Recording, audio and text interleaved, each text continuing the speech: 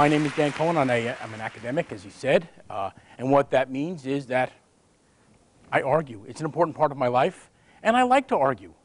And I'm not just an academic, I'm a, I'm a philosopher. So I like to think that I'm actually pretty good at arguing. But I also like to think a lot about arguing. And in thinking about arguing, I've come across some puzzles. And one of the puzzles is that as I've been thinking about arguing over the years, and it's been decades now, I've gotten better at arguing. But the more that I argue and the more and the better I get at arguing, the more that I lose. And that's a puzzle.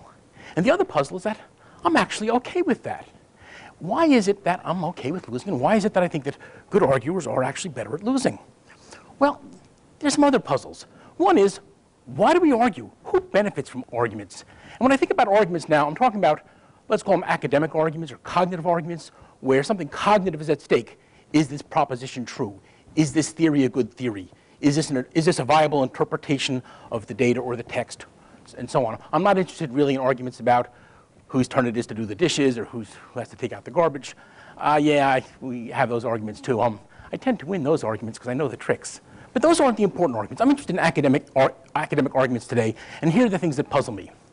First, what do good arguers win when they win an argument? What do I win if I convince you that utilitarianism isn't really the right framework for thinking about ethical theories? So what do we win when we win an argument? Even before that, what does it matter to me whether you have this, this idea that uh, Kant's theory works or, or, or Mill's the right, right ethicist to follow? It's no skin off my back what, whether you think functionalism is a viable theory of mind. So why do we even try to argue? Why do we try to convince other people to believe things that they don't want to believe? And is that even a nice thing to do? Is that a nice way to treat another human being, try and make them think something they, they don't want to they don't want to think? Well, my answer is going to make reference to three models for arguments. The first model, let's call this a dialectical model, is that we think of arguments as war. And you know what that's like. There's a lot of screaming and, and shouting and winning and losing. And that's not really a very helpful model for argument, but it's a pretty common and entrenched model for arguing. But there's a second model for arguing, arguments as proofs. Think of a mathematician's argument. Here's my argument. Does it work? Is it any good? Are the premises warranted? Are, there, are the inferences valid? Does the conclusion follow from the premises? No opposition, no adversariality, not necessarily any, any, any um, arguing in the adversarial sense. But there's a third model to keep in mind that I think is going to be very helpful, and that is arguments as performances, arguments in front of an audience. We can think of a politician trying to present a position, trying to convince the audience of something. But there's another twist on this model that I, that I really think is important, namely that when we argue before an audience, sometimes the audience has a more participatory role in the argument. That is, arguments are also audiences in front of juries who make a judgment, decide the case. Let's call this the rhetorical model, where you have to tailor your argument to the audience at hand. You know, presenting a sound, you know, well-argued, tight argument in English before a francophone audience just isn't going to work. So we have these models, argument as war, argument as proof, and argument as performance. Um, of those three, the argument as war is the dominant one. It dominates how we talk about arguments, it dominates how we think about arguments, and because of that, it shapes how we argue, our actual conduct in arguments. Now, when we talk about arguments, yeah, we talk in a very militaristic language. We want strong arguments, arguments that have a lot of punch, arguments that are right on target. We want to have our defenses up and our strategies all in order. We want killer arguments. That's the kind of argument we want. Um, it is the dominant way of thinking about arguments. When I said talking about arguments, that's probably what you thought of, the, the adversarial model. But the, the, the war metaphor, the war paradigm or model for thinking about arguments has, I think, deforming effects on how we argue. First, it elevates tactics over substance. Right? you take class in logic, argumentation, you learn all about the, the subterfuges that people use to try and win arguments, the, the false steps.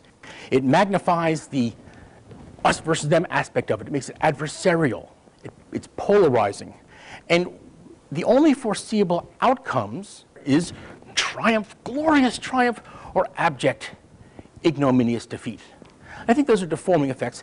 And worst of all, it seems to prevent things like negotiation or deliberation or compromise or collaboration.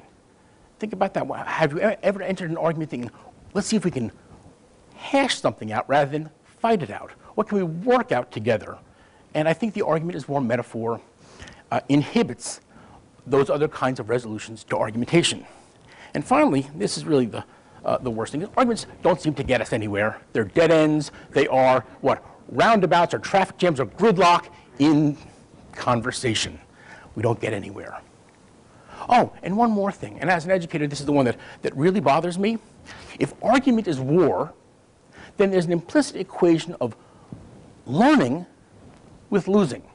And let me explain what I mean. Suppose you and I have an argument.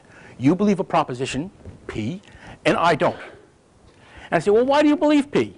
And you give me your reasons. And I object and say, well, what about? And you answer my objection. And I have a question, well, what do you mean? How does it apply over here?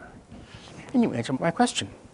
Now, suppose at the end of the day, I've objected, I've questioned, I've raised all sorts of counter, counter considerations, and in every case, you've responded to my satisfaction. And so, at the end of the day, I say, you know what? I guess you're right, P. So, I have a new belief.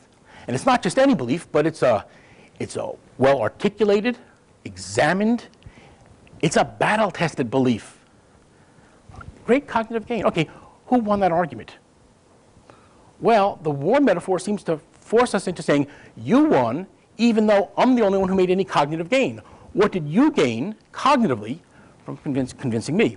Sure, you got some pleasure out of it, maybe your ego stroked, maybe you get some professional stat status in, in the field, uh, this guy's a good arguer. But cognitively now, just from a cognitive point of view, who was the winner? The war metaphor forces us into thinking that you're the winner and I lost, even though I gained. And that's, there's something wrong with that picture. And that's the picture I really want to, I want to change if we can.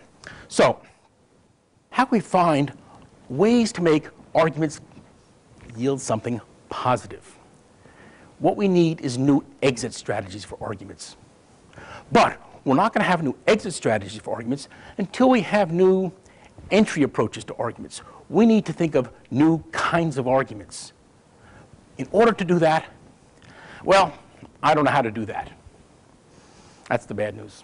The argument is war metaphor is just, it's a monster. It's just taken up uh, habitation in your mind, and there's, there's no magic bullet that's going to kill it. There's no magic wand that's going to make it disappear. I don't have an answer. But I have some suggestions, and, and here's, here's, the, here's my, my suggestion. If we want to think of new kinds of arguments, what we need to do is think of new kinds of arguers. So, try this. Think of all the roles that people play in arguments. There's the proponent and the opponent in an adversarial dialectical argument. There's the audience in rhetorical arguments. There's the reasoner in, in arguments as proofs. All these different roles. Now, can you imagine an argument in which you were the arguer, but you're also in the audience? watching yourself argue. Can you imagine yourself watching yourself argue, losing the argument, and yet still at the end of the argument say, wow, that was a good argument. Can you do that? I think you can. And I think if you can imagine that kind of argument where the loser says to the winner and they all and the audience and the jury can say, yeah, that was a good argument, then you have imagined a good argument. And more than that, I think you've imagined a good arguer, an arguer that's worthy of the kind of arguer you should try to be. Now, I lose a lot of arguments. It takes practice to become a, a, a, good arguer in the sense of being able to benefit from losing, but you know, fortunately I've had many, many colleagues who've been willing to step up and provide that practice for me. Thank you.